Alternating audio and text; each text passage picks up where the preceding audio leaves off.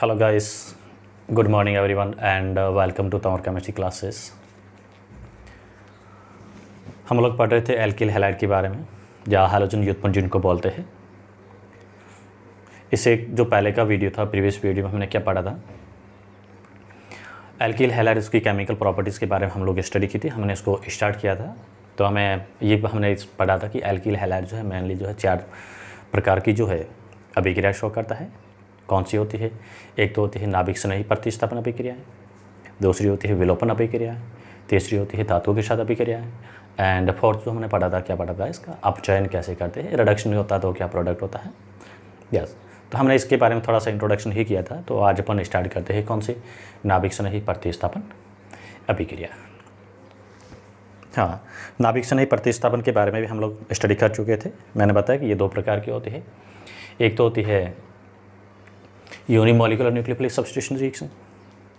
एक अणु नाभिक से नहीं प्रतिस्थापन अभिक्रिया, और दूसरी जो होती है, क्या होती है? दो अणु नाभिक से नहीं प्रतिस्थापित अभिक्रियाएँ एल्किल हैलाइड की जो है, मेन जो बंद की प्रवृत्ति भी हमने देखी थी, कैसा होता है? ध्रुवीय बंद होता है। ध्रुवीय बंद होने की वजह से क्या होता है? उसमें हेलोजन और कार्बन के ऊपर जो क्या होता है? आंशिक धनायस, धनायन एंड रनायस जो है, वो उत्पन्न होता है।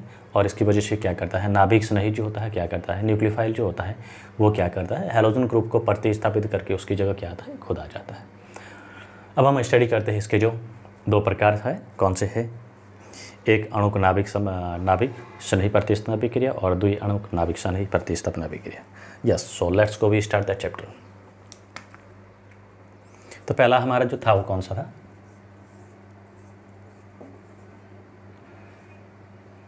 एक या एक अणुक?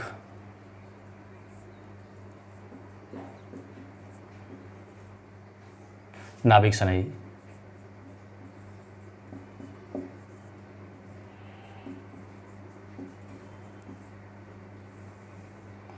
प्रतिस्थापन अभिक्रिया।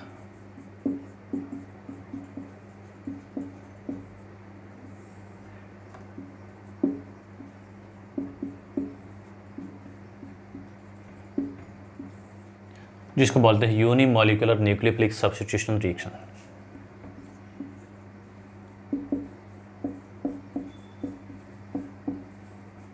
Unimolecular nucleophilic substitution reaction.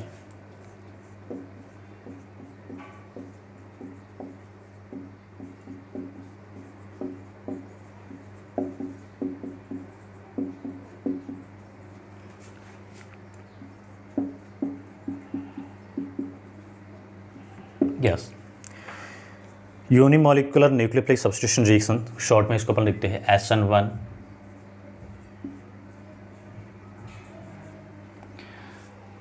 Board की दृष्टि से बहुत ही इंपॉर्टेंट टॉपिक है ये। एस एन वन और एस एन टू में अब हमें कभी एक बार क्वेश्चन पूछ सकते हैं, इसमें डिफरेंस पूछे, इसकी मैकेनिज्म पूछिए क्या होता है? तो यहाँ से जो है क्वेश्चन आने की जो संभावना है बहुत ही ज़्यादा है तो आप अच्छी तरह से उसको करिए और समझिएगा। यहाँ पे यूनिमोलिकुलर एक अणुक, नाम से पता चलता है एक अणुक। यूनिमोलिकुलर क्यों बोलते हैं? क्योंकि यहाँ पे जो है इसकी अभिक्रिया करने की जो रेट होती है दर जो होती है, किस पे निर्भर करती है? सिर्फ़ एक अणु जो है उसकी ही सांद्रता पर निर्भर करती है। एक अणु कौन सा? रिएक्टेंट जो होता है, अभिकारक जिसको बोलते हैं, सिर्फ़ और सिर्फ़ क्या करते हैं? अभिकारक की सांद्रता है, उस पर ही निर्भर करती है। हम यहाँ पे जो न्यूक्लियोफाइल ले रहे उसकी सांद्रता क्या ली है, उस पर निर्भर नहीं करती है, इसलिए क्या कहते हैं इसको, एक अणु नाभिक से नहीं, प्रतिस्थापन अभिक्रिया बोलते हैं। एक अणु दोबारा क्वेश्चन ये एक अणु क्यों बोलते हैं? क्योंकि इस अभिक्रिया की जो दर जो होती है, अभिक्रिया की दर किस पे निर्भर करती है? सिर्फ़ और सिर्फ़ रिएक्टेंट जो होता है, अभिकारक जो है, अभिकारक की सांद्रता पर निर्भर करती है। तो इसलिए इसको क्या बोलते हैं? एक अणु अभिक्रिया बोलते हैं। अभिक्रिया की जो दर जो होती है, क्या होती है?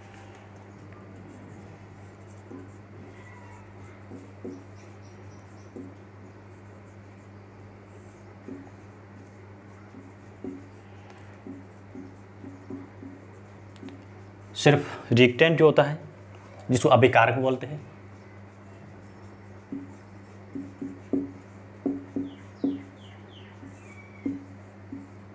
अभिकारक की सांद्रता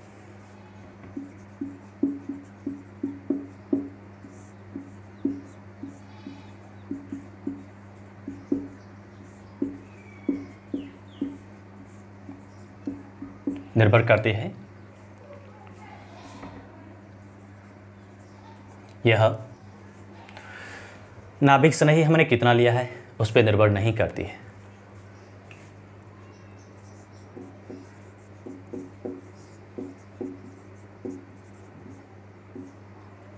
नाभिक स्नेही की सांद्रता पर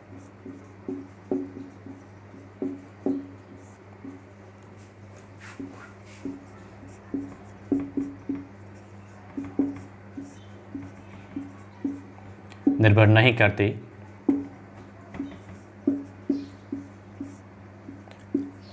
अतः इसे क्या बोलते हैं? एक अणुक नाभिक से नहीं, प्रतिस्थापन अभिक्रिया बोलते हैं।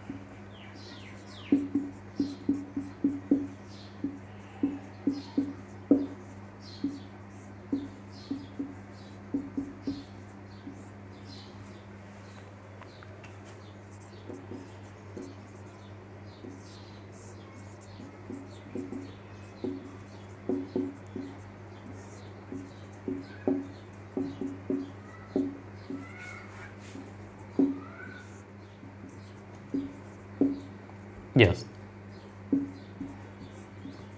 सिर्फ़ और सिर्फ़ नाभिक स्नेह जो है सॉरी अभिकारक है, अभिकारक की ही क्रिया, अभिकारक की जो सांद्रता क्या है, उस पर ही निर्भर करती है। इसलिए एक ही अणु पे निर्भर करने की वजह से इसको क्या बोलते हैं? एक अणु बोलते हैं। तो अभिक्रिया की दर जो होती है, क्या होती है? रेट समानुपाती होती है किसकी? ये स्क्वायर ब्रैकेट का मतलब होता है मॉलर कंसंट्रेशन यानी मॉलर सांद्रता।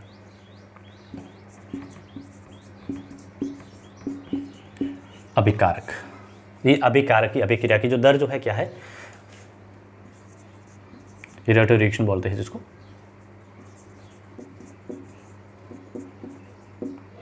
अभिक्रिया की दर जो है, क्या कहते हैं? सिर्फ़ और सिर्फ़ अभिकारक है अभिकारक की सांद्रता पर निर्भर करती है। इस वजह से इसको क्या बोलते हैं? एकल अणु यानी एक ही अणु पर निर्भर करती है। इसलिए इसको बोलते हैं एक अणु या एकल अणु प्रतिस्थापित अभिक्रिया। अब यहाँ पे ये अभिक्रिया, जो अभिक्रिया क्या होती है? दो पदों में या दो चरणों में पूर्ण होती है। एस एन वन अभिक्रिया जो होती है, वो अभिक्रिया दो चरणों में पूर्ण होती है।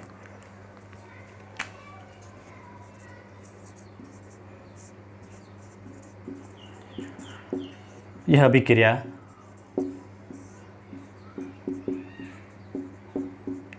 दो पदों में पूर्ण होती है।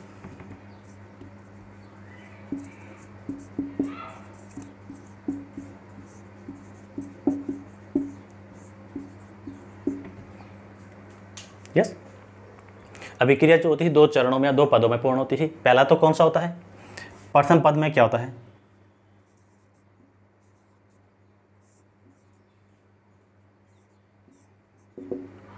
ध्यान रखना, प्रथम पद जो होता है, उसमें क्या होता है?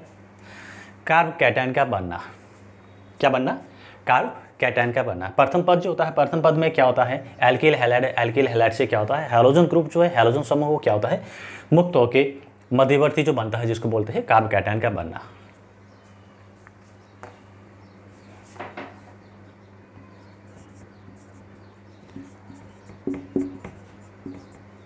हेलोजन का मुक्त होना, ये पहले पद में होता है।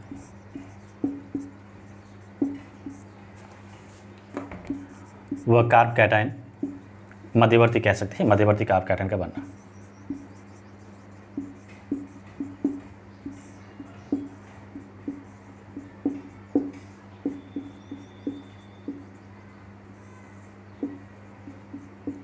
प्रथम पद है। हैलोजन जो होता है एल्किल हैलाइड से उस हैलोजन का क्या होना? मुक्त होना और मध्यवर्ती जो कार्ब कैटन उस कार्ब कैटन का बनना। कैसे होता है? जैसे मैं यहाँ पे एल्किल हैलाइड ले रहा हूँ ये। मैंने यहाँ पे क्लोरीन लिया। क्या बना?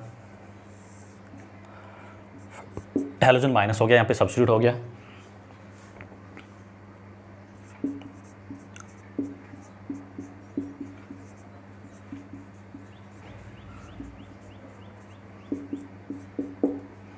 पे सीधा क्लोरीन लिया तो ये क्या बना?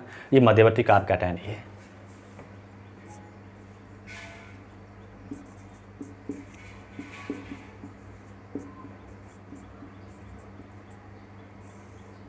मध्यवर्ती। अब ये कार्ब कैटाइन है, इसकी जो संकरण अवस्था होती है, वो क्या होती है? एस पी टू संकरित अवस्था होता है। ये कार्ब कैटाइन जो होता है, क्या होता है? एस पी टू संकरित अवस्था का होता है। ध्यान रखना ये।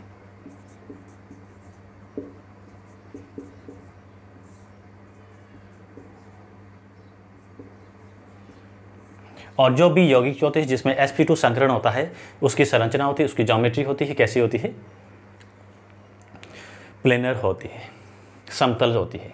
इसकी जोमेट्री होती है, इसकी शेप जो होती है सिंपली इसको कहेंगे, समतल होती है।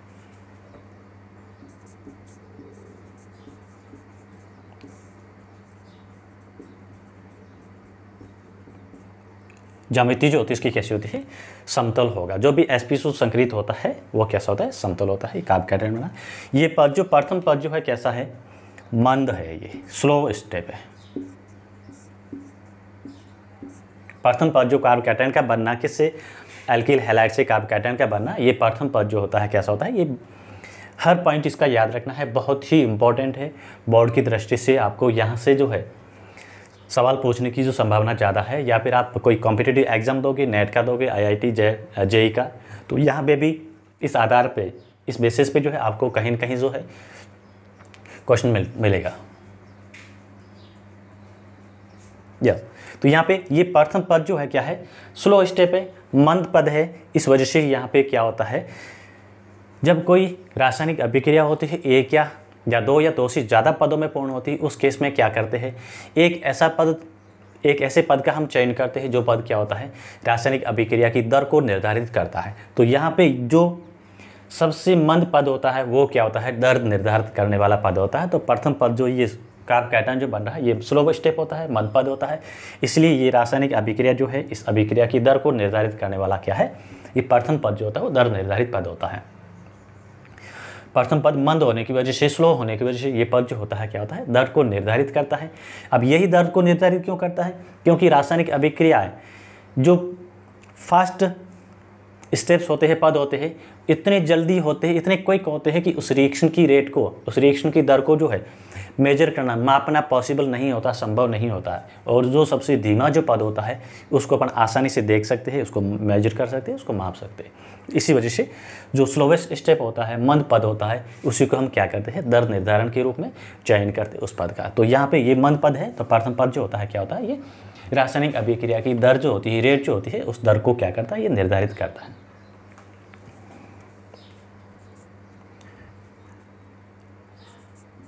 यह मंद या स्लो कह सकते हैं।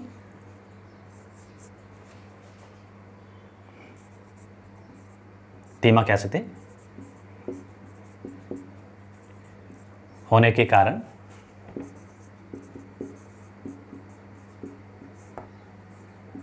अभिक्रिया की दर को निर्धारित करता है, दर निर्धारण पद।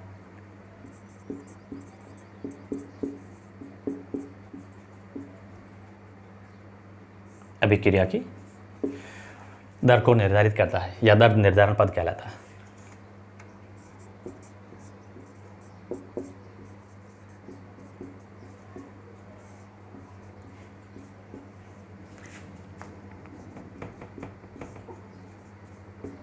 ये पद धीमा होने की वजह से, स्लो होने की वजह से क्या करता है? रासायनिक अभिक्रिया, उसकी क्या करता है?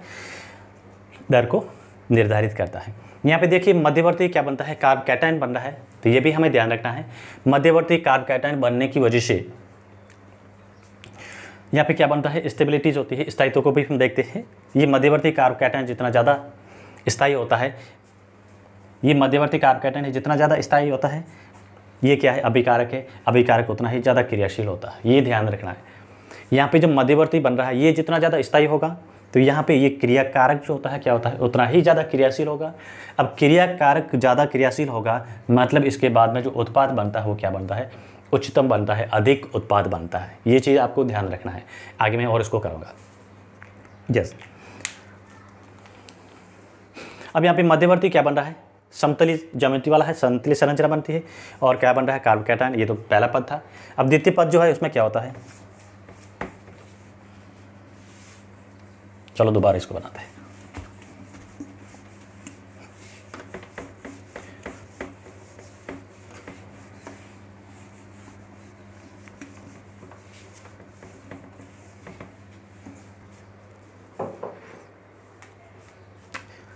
हाँ दोबारा एक बार मैं लिख देता हूँ, ये प्रथम पद था।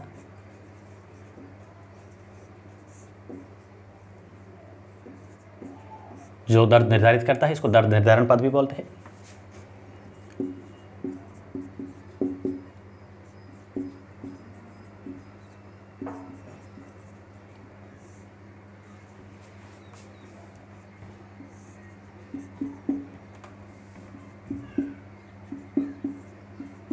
क्या बना? कार्बोकैटायन बना कैसा होता है sp2 संकरित होता है और समतली होता है। यस अब जो द्वितीय पद जो होता है, वो क्या होता है?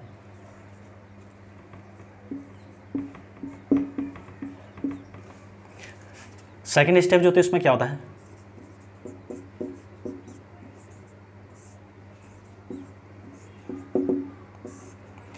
पहले पद में हमने क्या पढ़ा था? कार्बकैटन बना है।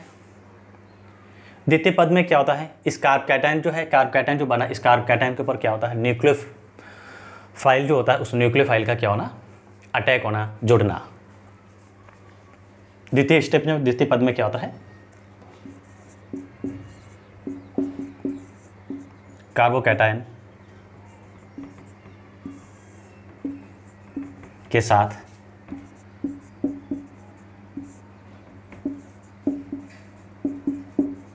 नाभिक स्नेही का आक्रमण, अटैक करना।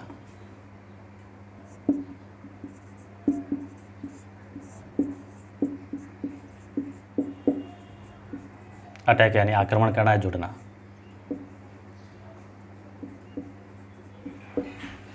अब इसका कोई भी अटैक करता है, कोई भी आक्रमण करता है तो कितनी तेज़ी से करता है? हम जो बहुत सारी पिक्चर वगैरह उसमें देखते हैं, कोई अटैक करता था ऐसा नहीं, पहले उसको चेतावनी दे रहा है धीरे धीरे जो है उसको बुलाता है, आ, मेरे पास आ। और मैं अब जो है आक्रमण कर रहा हूँ। तो ऐसा नहीं होता, वो क्या करता है? जब भी मौका देखा सडनली चुप के या फिर जो भी उसको रास्ता देखा, जैसे भी उसने मौका देखा, मौके का फ़ायदा उठा के वो क्या करता है? अटैक कर देता है। तो यहाँ पे यही भी क्या करता है? नाभिक सुनही जो रहता है। जैसे ही इसने क्या देखा कार्बोकैटाइन को देखा और फटाक से क्विक क्विकली फास्टली जो है उसने क्या किया, उसके ऊपर अटैक कर दिया। तो ये पद जो होता है इतना तेज़ होता है कि इसकी अभिक्रिया की दर को निर्धारित करने में काम नहीं आता है। इसलिए ये क्या होता है? तीव्र पद होता है। ये मन स्टेप था और यहाँ पे जो होगा वो क्या होगा? फास्ट स्टेप होगा। और ये न्यूक्लियोफाइल क्या करता है? जुड़ जाएगा किसके साथ में? कार्बोकैटायन के साथ में।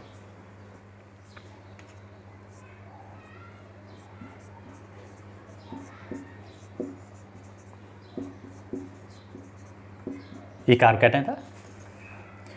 और न्यूक्लियोफाइल क्या करता है इसके साथ में? न्यूक्लियोफाइल क्या होते हैं? जो भी स्पीसीज होती है, जो भी प्रजातियाँ होती है, जिसके ऊपर क्या होता है? माइनस चार्ज होता है, नेगेटिव चार्ज होता है। रनावेश होता है रनावेशित वाले होते हैं न्यूक्लियोफाइल होते हैं। और कुछ उदासीन भी होते हैं, न्यूट्रल होते हैं, जिसके पास में क्या होता है? जिनका अष्टक पूर्ण होता है और कम से कम एक क्या होता है? लॉन पेयर ऑफ़ इलेक्ट्रॉन हो, इलेक्ट्रॉन पेयर जिनके पास में होता है। तो ये न्यूक्लियोफाइल क्या करता है? क्या करता है, इसके ऊपर अटैक करेगा, आक्रमण करेगा। अब यहाँ की इसकी जोमेट्री जो है, मैं थोड़ा सा चेंज करके ऐसे लिख देता हूँ। क्योंकि हमने यहाँ पे क्या लिखा है समतली होती है तो मैं इसको थोड़ा सा चेंज कर देता हूँ। हालाँकि एक ही है, ही बनाइए, वो बनाइए तो वो इजीली आपको समझ में आ जाएगी। समतली जो होता है, वो ऐसे होता है। ये कार्बोकेट है। अब समतली होने की वजह से क्या होता है, ये न्यूक्लियोफाइल है न्यूक्लियोफाइल क्या करता है? फ़र्स्ट क्विकली अटैक करेगा। तेज़ी से अटैक करेगा और कहाँ से करेगा? अब देखिए, कोई भी समतल होता है, कोई चीज़ समतल है। जैसे मैं इसको ले रहा हूँ। ये मैंने लिया एक समतली चीज़ है। यस अब यहाँ पे हमारे पास क्या दे रखा है? न्यूक्लियोफाइल दे रखा है। तो ये न्यूक्लियोफाइल जो होता है, क्या करता है? समतल होने की वजह से, एक ही प्लेन में होने की वजह से सामने से भी अटैक जुड़ सकता है और पीछे की बैक साइड से भी है, क्या करता है? अटैक कर सकता है, आक्रमण कर सकता है। क्योंकि इसके पास में कोई बैरियर वगैरह नहीं है। तो यहाँ पे जो न्यूक्लियोफाइल जो है, ये तो सामने से आक्रमण कर रहा है। और दूसरा जो उसके जुड़ने की जो संभावना होती है, क्या होती है? ये इधर से आके पीछे से भी आक्रमण कर सकता है। ऐसे भी। यस ये आक्रमण जो है सामने से भी कर सकता है और पीछे से भी कर सकता है। तो यहाँ पे हमें उत्पाद जो मिलेगा, वो क्या मिलेगा? अब यहाँ पे न्यूक्लियोफाइल ऐड हो गया है और एक अगर सामने से ऐड हो रहा है, तब तो ही ये उत्पाद मिल रहा है। और पीछे की साइड से अटैक कर रहा है तो क्या मिलेगा? ये हमें दोनों ही उत्पाद मिलता है। सम, ये चीज़ याद रखनी है।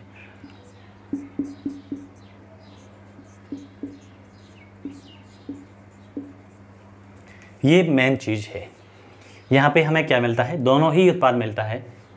तो पचास परसेंट फिफ्टी परसेंट तो ये मिलेगा। फिफ्टी परसेंटेज ये मिलेगा। ऐसा नहीं कि सिर्फ़ एक ही सिंगल ही उत्पाद मिलेगा। सिंगल उत्पाद नहीं मिलता, हमें उत्पाद दोनों ही मिलता है। डेस्ट्रोर लेबोरेटरी जिसको बोलते हैं डी और एल फॉर्म जो होती है, वो बोलते हैं। तो हमें दोनों ही रूप मिलते हैं। अब इस टाइप का जो मिक्सचर होता है, इस मिक्सचर को अपन क्या बोलते हैं? रेसमिक मिक्सचर बोलते हैं। ये ध्यान रखना यहाँ पे एस एन वन अभिक्रिया है, उसमें उत्पाद जो होता है, क्या होता है वो? रेसमिक मिक्सचर होता है। ये जो डी और एल जो फॉर्म होती है, इसको बोलते हैं डी फॉर्म बोलते हैं, और ये जो होती है, क्या होती है? स्मॉल डी और ये क्या है? एल फॉर्म ये प्लस कॉन्फ़िगरेशन है, इसको क्या बोलते हैं? माइनस अब हम प्लस माइनस कैसे करते हैं? जब कोई कार्बनिक यौगिक है, कार्बनिक यौगिक का जो सैंपल होता है सॉल्यूशन उस पर अपन क्या करते हैं? उस कार्बनिक यौगिक, हम लाइट को पास करते हैं, उस केस में कार्बनिक यौगिक लाइट को क्या करता है? घुमाता है रोटेट करता है। अगर उन लाइट को क्या करता है? क्लॉकवाइज रोटेट करता है तो प्लस साइन होता है, उसके लिए dextro rotated D word use लेते हैं। अगर वो लाइट को क्या करता है? एंटी क्लॉकवाइज घुमा रहा है तो क्या करता है? लेवो रोटेटी एल लेते हैं और एंटी क्लॉकवाइज है तो साइन क्या होगा? माइनस में होगा। अब यहाँ पे जो एस एन वन अभिक्रिया होती है, इसमें क्या हो रहा है? डेक्स्ट्रो रोटेटी और लेवो रोटेटी जो होती है डेक्स्ट्रो गुणन और लेवो गुणन होता है, बराबर दोनों ही बनता है। इस वजह से ये जो है, पचास परसेंट ये बनेगा, पचास परसेंट ये होगा।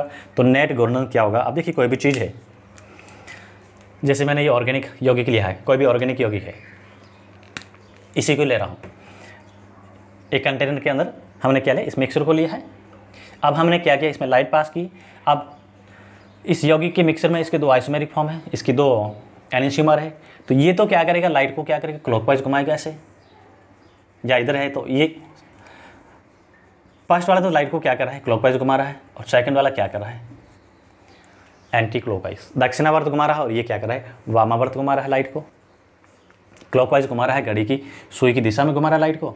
जितनी घड़ी की सुई की दिशा में लाइट घूम रही है तो ये क्या कर रहा है, उतनी ही क्या कर रहा है, उसको वापस विपरीत दिशा में घुमा रहा है। तो नेट जो घुमा घुमाओ इसमें जो आएगा वो क्या आएगा? ज़ीरो होगा। नेट रोटेशन जो होगा वो क्या होगा? ज़ीरो होगा। इस टाइप की यौगिक है जिसमें क्या है? बराबर सांद्रता है किसकी? डेक्स्ट्रो और लेवो दक्षिणावर्त एंड वामावर्त जो गुणन होते हैं, उनकी बराबर जब सांद्रता होती है, इस प्रकार के यौगिक जो है, कंपाउंड से उसको अपन क्या बोलते हैं? रेसमिक मिक्सर बोलते हैं। तो ये रेसमिक मिक्सर है। क्या बोलेंगे इसको? रेसमिक मिश्रण। और रेसमिक मिश्रण होते हैं, वो क्या होते हैं? प्रकाशीय अक्रिय होते हैं, ऑप्टिकली इनएक्टिव होते हैं। रेसमिक मिक्सर जो होता है, प्रकाश सक्रिय यौगिक कौन होते हैं? ये आपको ध्यान रखना है, प्रकाश सक्रिय यौगिक किसको बोलते हैं? ऐसे कार्बनिक यौगिक जिसमें हम क्या करते हैं? प्रकाश को डालते हैं लाइट को डालते हैं, उस केस में ये लाइट को क्या करता है? अगर वो घुमा रहा है लाइट को लाइट की घुमाने की दिशा कोई भी हो सकती है क्लॉकवाइज घुमा रहा है या फिर एंटी क्लॉकवाइज घुमा रहा है तो वो यौगिक जो है वो क्या हो रहे प्रकाश से सक्रिय होंगे और जो लाइट को क्या कर रहा है? रोटेट नहीं कर रहा है नेट घूर्णन जो होता है वो ज़ीरो आ रहा है, वो प्रकाशी अक्रिय होते हैं। तो यहाँ पे ये रसमी मिक्सर जो होता है हालाँकि इसको एक ही बात जो है, इसको तो अक्रिय नहीं करेंगे, क्योंकि लाइट को क्लॉकवाइज एंटी क्लॉक घुमा रहा है। लेकिन समान सांद्रता मोलर सांद्रता होने की वजह से क्या करता है, एक घटक जो है, जो जितनी क्लॉकवाइज लाइट को घुमा रहा है, दूसरा घटक क्या कर रहा है, उसको एंटी क्लॉकवाइज घुमा रहा है, और नेट घुमाव जो है, दोनों का बराबर है, लेकिन दिशा क्या है, विपरीत है तो नेट घूर्णन जो है, वो क्या होगा? ज़ीरो हो जाएगा। इस वजह से इस टाइप के यौगिक जो होते हैं इसको क्या बोलते हैं? इस टाइप का मिक्सचर जो होता है, क्या होता है? ऑप्टिकली इनएक्टिव होता है, प्रकाश अक्रिय होता है। ये रेशमी मिक्सर वाले जो होते हैं, क्या होते हैं? प्रकाश अक्रिय हो होगी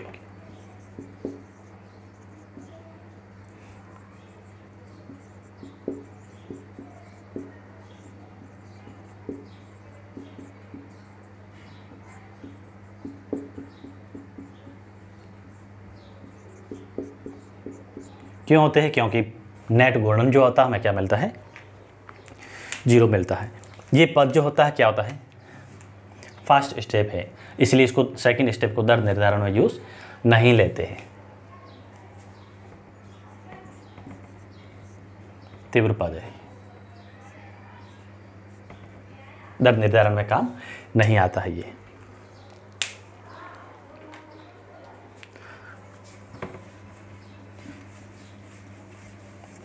अब यहाँ पे मध्यवर्ती जो बनता है, क्या बनता है? कार्ब कैटाइन बन रहा है। कार्ब कैटाइन बनने की वजह से क्या होता है? एल्किल हैलाइड का एस एन वन अभिक्रिया के साथ जो क्रिया करने की जो दर होती है, क्या होती है?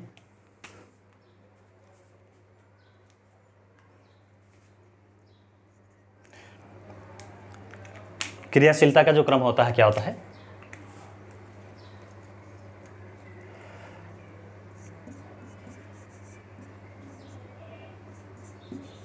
एल्किल हेलाइड्स का।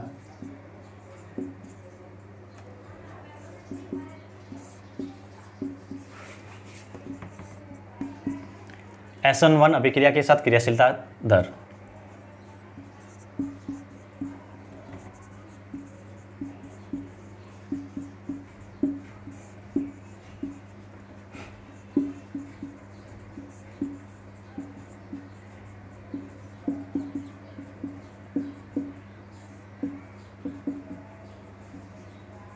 क्या होगा?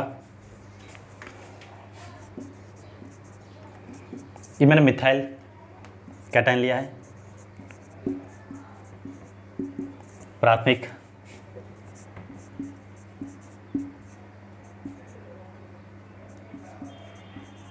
Two degree.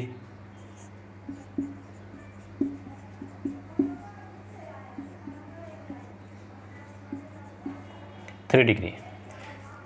इसको अपन ज़ीरो डिग्री बोलेंगे, one degree, two degree, three degree. तो ये टर्सरी एल्किल हैलाइड जो होते हैं, सबसे ज़्यादा क्रियाशील होते हैं किसके साथ में? एस एन टू अभिक्रिया के साथ। सॉरी एस एन वन जो अभिक्रिया एस एन वन अभिक्रिया जो है, उसका बढ़ता हुआ क्रम है ये। एल्किल हैलाइड हमें दे रखा, हमें पूछा कि इसको अरेंज करने के लिए तो ये इसका क्या होगा? क्रियाशीलता का क्रम होगा। ये सबसे ज़्यादा क्रियाशील होगा। क्यों होता है? क्योंकि इसमें क्या बनती है? नाइन अतिशयुग्मन संरचनाएँ बनती इसमें।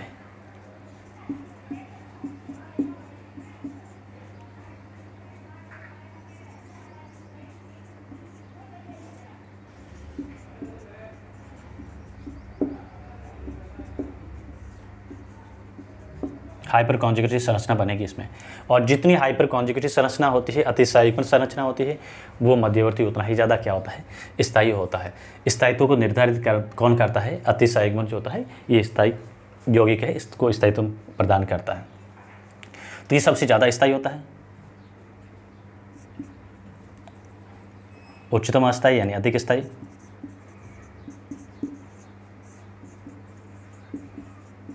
और ये जो होता है क्या होता है? सबसे कम यानी निम्न स्थायी। यानी कम निम्नतम कह सकते हैं।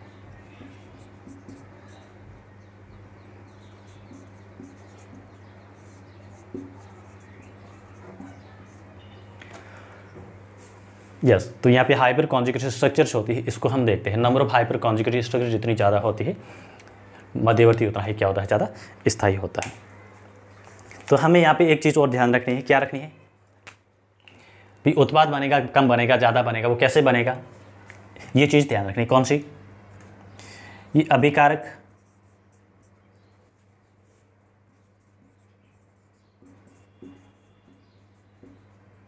जिसको अभिकारक को क्या बोलते हैं? क्रियाकारक भी बोलते हैं। यस चलो मैं किसको क्रियाकारक ही लिखता हूँ। क्योंकि मुझे थोड़ी सी प्रॉब्लम इसलिए हो रही है कि इंग्लिश मीडियम और हिंदी मीडियम के वर्ड जो है थोड़े से उसमें डिफर होते हैं। जिसको रिक्टेन बोलते हैं, यहाँ पे मैंने क्या लिया है? क्रियाकारक लिए है। क्रियाकारक अभिक्रिया जो होती है इसमें क्या होता है? मध्यवर्ती बनाएगा जैसे ये बना है। कोई भी अभिक्रिया है, एक स्टेप में नहीं होती है, उसका कुछ न कुछ मध्यवर्ती बनता है। तो अधिकतम अभिक्रिया जो होती है कार्बनिक अभिक्रिया जो होती है उसमें क्या होता है? मध्यवर्ती तो बनेगा ही बनेगा। तो यहाँ पे क्या बनेगा? क्रियाकारक से क्या बनेगा? मध्यवर्ती। और मध्यवर्ती से क्या बनेगा? उत्पाद प्रोडक्ट क्या बनेगा? प्रोडक्ट अब उत्पाद कितना बनेगा? कम बनेगा, ज़्यादा बनेगा या तेज़ बनेगा? कौन निर्धारित करता है? क्रियाकारक। अगर क्रियाकारक ज़्यादा क्रियाशील है, क्रियाकारक जो है।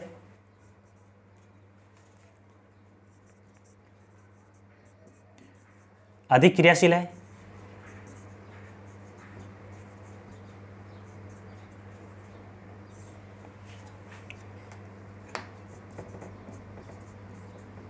अगर क्रियाकारक अधिक क्रियाशील है तो मध्यवर्ती क्या होगा? स्थायी होगा। अधिक स्थायी होगा।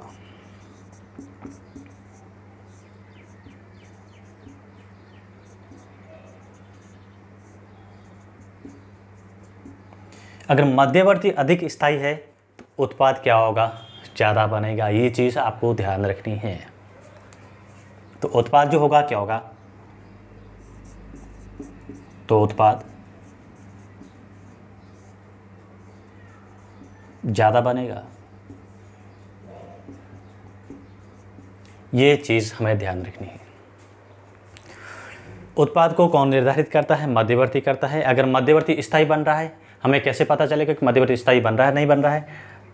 एक तो हम क्या करते हैं? अतिशयोगी संरचना देखते हैं इसमें। अगर ज़्यादा बन रही है अतिशयोगी संरचना तो मध्यवर्ती ज़्यादा स्थायी होगा। और दूसरी चीज़ क्या है? क्रियाकारक है, इसको देखना है। क्रियाकारक एल्किल हेलाइड का क्रम मैंने ये बता दिया। प्राथमिक एल्किल हेलाइड जो है, कम क्रियाशील होता है। तृतीय एल्किल हेलाइड जो है ज़्यादा क्रियाशील होगा। तृतीय एल्किल हेलाइड ज़्यादा क्रियाशील होने की वजह से तृतीय कार्ब कार्बोकैटायन जो बन रहा है, जो मध्यवर्ती, ज़्यादा स्थायी होगा। मध्यवर्ती ज़्यादा स्थायी होगा तो यहाँ पे जो उत्पाद बनेगा वो क्या बनेगा? अधिकतम बनेगा, उच्चतम बनेगा।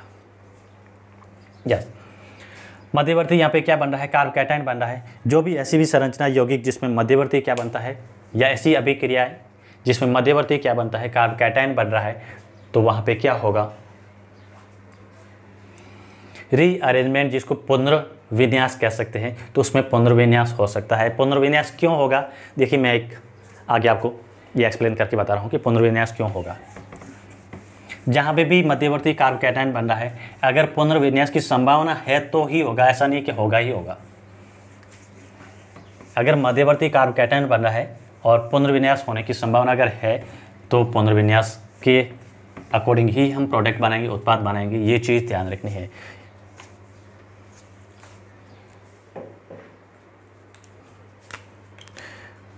कोई भी रासायनिक अभिक्रिया अगर उसमें मध्यवर्ती क्या बन रहा है? कार्बोकैटायन बन रहा है।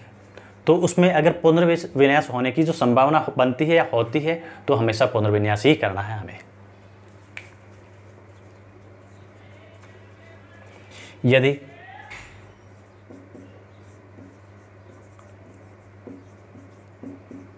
मध्यवर्ती कार्बोकैटायन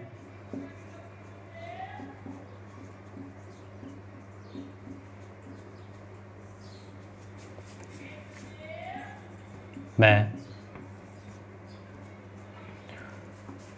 पुनर्विन्यास।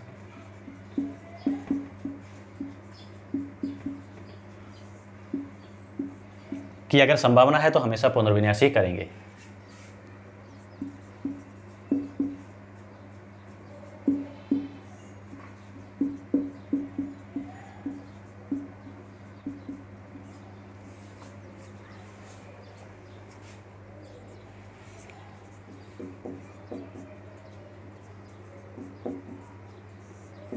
होगा या करेंगे?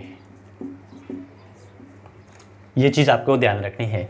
हमें क्या करते हैं? उत्पाद जो बनाते हैं, उत्पाद कभी कभार गलत बना देते हैं। बोर्ड में चलो इतना डीपली पूछे नहीं पूछे, लेकिन आप जो जिस चीज़ की आपने साइंस ले रखा है तो पहला हमारा उद्देश्य यही होता है साइंस में कि हम क्या बने? डॉक्टर या इंजीनियर। तो वहाँ पर जो कंपटीशन का जो एग्ज़ाम है, उस एग्ज़ाम में इस टाइप की जो क्वेश्चन जो है, आने की संभावना ज़्यादा होती है। अब देखिए, मैं यहाँ पे ले रहा हूँ एक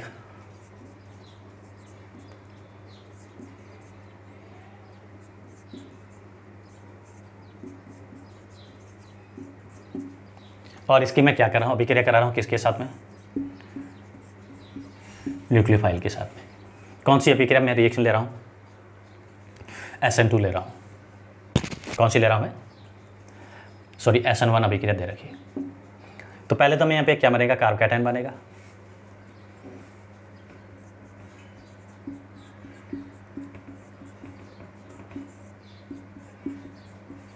सी एल हटके इसने क्या बनाया? कार्बोकैटाइन कितनी डिग्री है? वन डिग्री कार्ब कैटायन ये। कितनी डिग्री है? अगर वन डिग्री कार्ब कैटायन से टू डिग्री या थ्री डिग्री कार्ब कैटायन बनने की संभावना होती है तो हमेशा क्या करते हैं? हम उसको ही बनाते हैं। तो यहाँ पे वन डिग्री से थ्री डिग्री पॉसिबल है तो इसका क्या होगा? पुनर्विन्यास करेंगे।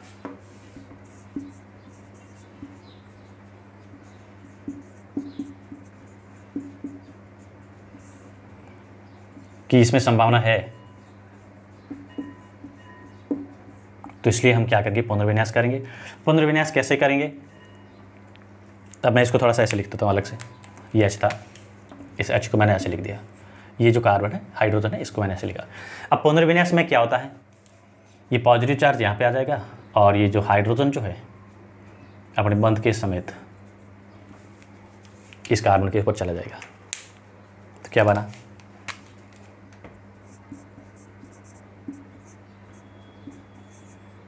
पॉजिटिव चार्ज यहाँ पे आ गया। दो हाइड्रोजन थे, एक हाइड्रोजन ये वाला आ गया।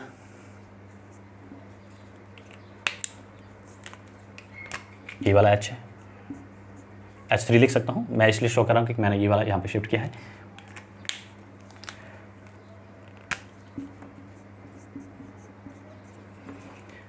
कितने डिग्री कार्बोकैटन बनाइए? थ्री डिग्री कार्बोकैटन ये। तीन डिग्री तृतीय कार्बोकैटन बना।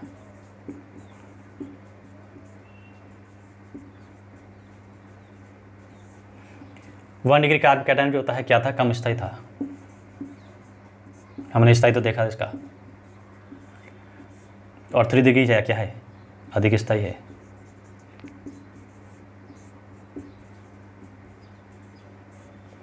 अगर वन डिग्री से थ्री डिग्री या टू डिग्री या टू से थ्री डिग्री बनने की संभावना है तो हमेशा हम क्या करते हैं? पुनर्विन्यास करेंगे और स्थायित्व बनेंगे। अब हमें जो उत्पाद बनाएँगे, वो क्या बनाएँगे? अब क्या करेगा? स्टेप सेकंड में क्या करेगा? ये सेकंड स्टेप है, ये क्या थी? फ़र्स्ट थी। अब न्यूक्लियोफाइल क्या करेगा यहाँ पे? हमें दोनों ही प्रोडक्ट दिए होंगे, ये चीज़ ध्यान रखना है। क्या बनाया इसने? C H three C H three C H three और क्या बना? ये एन अगर हमने यहाँ पे सीधा ही न्यूक्लियोफाइल का अटैक किया है, हमने उत्पाद इसके अकॉर्डिंग बनाया तो हमारा आंसर गलत होगा। अगर आपने ये बना दिया है हाँ थोड़ा बहुत बन सकता है, जैसे 98 परसेंटेज इंठानवे परसेंटेज ये बनेगा तो थोड़ा बहुत हो सकता है, दो परसेंटेज तक ये बने। ऐसा नहीं कि बिल्कुल ही नहीं बनेगा, थोड़ा बहुत बन सकता है, लेकिन मेजर प्रोडक्ट जो होगा, क्या होगा? यही होगा पुनर्विनाश के अकॉर्डिंग मुख्य उत्पाद जो होगा, वो होगा। ये आपको दोनों ही मिलेगा। C H two N U है और सी एच थ्री ये मुख्य उत्पाद ये बनेगा।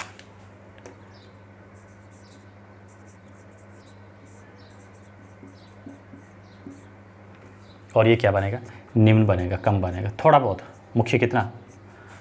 98 परसेंटेज ये बनेगा। सिर्फ़ दो परसेंटेज ये बन सकता है। तो ये थी इसकी अगर मैकेनिज्म पूछे तो ये मैंने मैकेनिज्म ही बताई है आप अलग से करने की कोई ज़रूरत नहीं, आपको जब भी पूछे, इसकी एस एन वन की मैकेनिज्म पूछिए तो मैकेनिज्म में आपको दो स्टेप में, पहला वो कार्ब कैटायन बनना, दूसरा क्या होता है न्यूक्लियोफाइल का अटैक करना। कहाँ से करोगे? बैक साइड से और फ्रंट दोनों साइड से अटैक होगा, क्या बनेगा? वही रेसमी मिक्सर बनेगा। रेसमी मिक्सर जो होता है, वो क्या होता है? ऑप्टिकली इनएक्टिव होता है, प्रकाश अक्रिय होता है। क्यों होता है? क्योंकि इसमें नेट घूर्णन जो होता है, क्या होता है? ज़ीरो होता है। उसमें जो डेक्स्ट्रो दक्षिणावर्त घूर्णन और वामावर्त घूर्णन जो होता है, क्या होता है? बराबर होता है तो नेट घूर्णन जो हमें क्या मिलेगा उसमें? ज़ीरो मिलेगा। ऐसे यौगिक जिसमें नेट घूर्णन ज़ीरो होता है, वो यौगिक जो होते हैं, क्या होते हैं? प्रकाश अक्रिय होते हैं। यानी लाइट को घुमाना संभव नहीं होता। है घुमाते तो है, लेकिन नेट घूर्णन ज़ीरो होता है। यस? तो ये हमने क्या पढ़ा है, किसके बारे में? एस एन वन मैकेनिज्म है। एस एन वन अभिक्रिया जो थी न्यूक्लियोफिलिक सब्सिट्यूशन अभिक्रिया थी नाभिक से नहीं, प्रतिस्थापित अभिक्रिया थी उसके बारे में हमने पढ़ा है। और अगला जो वीडियो हम बनाएँगे किसके बारे में? एस एन टू और उसके आगे वाला पढ़ेंगे हाँ आज भी अगर एस एन टू करें तो थोड़ा सा टॉपिक जो है लंबा हो जाएगा तो आज हम इतना इसको करते हैं। तो thank you for watching video